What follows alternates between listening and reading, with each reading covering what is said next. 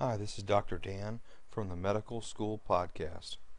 The first thing I want to say is that I am no way paid for this endorsement of the gold standard MCAT package at all. And why would I care as a physician about Dr. Ferdinand's gold standard MCAT? Seeing as I've already taken the MCAT, I've gone through medical school and internship, and have passed all of the United States medical licensing exams. The reason is because I submitted a grant proposal to the National Institutes of Health and I was looking for an MCAT teacher that would be able to make a statistical difference to help pre-medical students increase their MCAT scores and get into medical school. And if it were, were up to me and I could pick anyone in the world that would sort of guarantee that I could publish a paper that would show that we could do that with our program, I that's when I got interested and introduced to Dr. Brett Ferdinand with Gold Standard MCAT.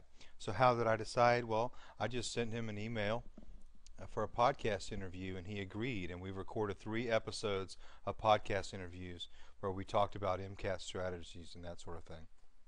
So not only was he a likable and humble guy, but I was just impressed that he's an actual physician, an MD, that still remembers all the details from the MCAT.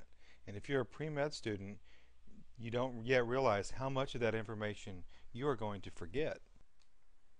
Most MDs have practically forgotten all of their physics, for example. So why does being a physician matter when it comes to teaching the MCAT? Okay, one thing I like to do is look at the science behind why things work the way they work, particularly study techniques. And the reason is because the MCAT, the Association of American Medical Colleges, is not testing your rote memorization for the MCAT. They're testing your thinking.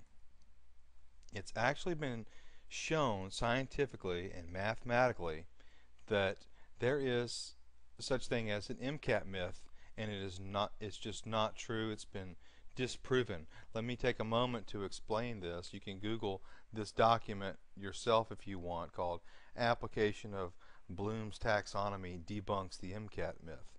We discuss it in the podcast we recorded too on the medical school podcast.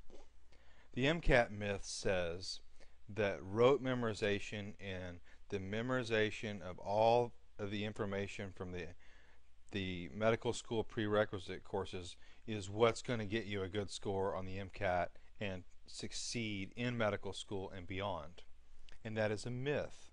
And we're in the middle of a huge epidemic of pre-med advisors, uh, many of them all over the country, that are giving out false information about MCAT preparation. So I think understanding what the AAMC is looking for when they're testing on the MCAT makes a big difference, and no one understands like that as well as a physician.